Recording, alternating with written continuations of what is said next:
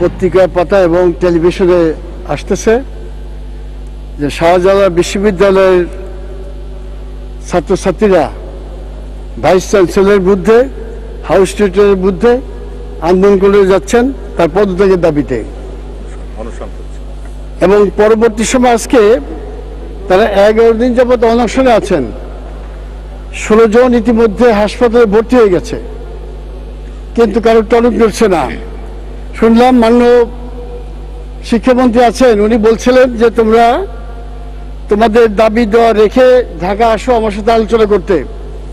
আমরা সবাই ছাত্র আন্দোলন করে এসেছি।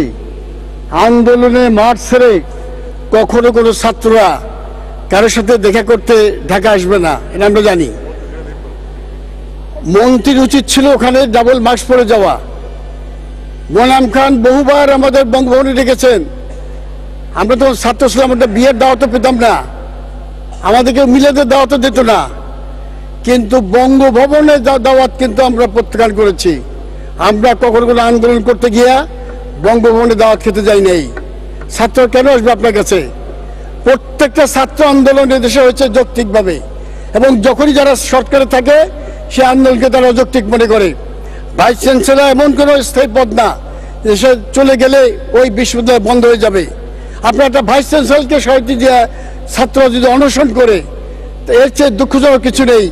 তাহলে বুঝতে হবে যে ভাইস চ্যান্সেলরের উপরে ছাত্রদের কোনো আস্থা নেই, তার বিশ্বাস নেই, তার কোনো ভালোবাসা নেই, তার কোনো শ্রদ্ধাবোধ নেই, ওনার থাকাই উচিত না। ওনার যদি বিন্দু মাত্র আত্মসম্মান বোধ থাকতো, উনি অবশ্যই এখান থেকে চলে আসতেন।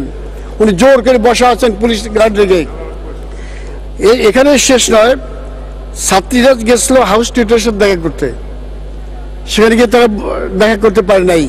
এবং তাদের সাথে খুব খারাপ আচরণ করেছিল হাউস টিউটার সেখান থেকে ঘটনার উৎপত্তি মানুষ স্পিকার তখন ছাত্রছাত্রীরা ভাইস চ্যান্সেলর কাছে গেছিল। ওই তাদের দাবি দেওয়া নিয়ে কথা বলতে হাউস টিউটারের মধ্যে। ভাইস চ্যান্সেলার তাদেরকে সহায় দিচ্ছে তাদের কথা শুনে নাই। তারপরেই তারা কিন্তু আন্দোলন করল। আন্দোলন করার পরেই পুলিশ ডেকে আনলো। মুলায়ম খানের যুগ নাকি যে কথায় কথা পুলিশ আনবেন ভাইস চ্যান্সেলর এনে ছাত্রদের, ছাত্রীদের মারলো, আমরা দেখলাম। লাঠি পেটা করল, কাজল গ্যাস মারলো। তাহলে কেন এটা উৎপত্তি হলো? কোনো ছাত্র আন্দোলনকে ছোট চোখে দেখা উচিত না। এ দেশের প্রত্যেকটা আন্দোলন, ভাষা আন্দোলনকে শুরু করে স্বাধীনতা আন্দোলন, স্বাধিকার আন্দোলন, সব আন্দোলনের নেতৃত্ব দিয়েছে এই দেশের ছাত্ররা। অতএব আমি মনে করি, মাননীয় স্পিকার, অবিলম্বে আর কোনো তন্ত্র রিপোর্ট নয়। তার সাথে আলাপ আলোচনা নয়। মাননীয় শিক্ষামন্ত্রী আছেন, প্রধানমন্ত্রী আছেন, ভাইস চ্যান্সেলরকে আজকের মধ্যে ওখান থেকে উদ্যোগ করে নিয়ে আসেন। ছাত্রদের আন্দোলন ত্যাগ করে ক্লাসে ফিরে সাহায্য করেন।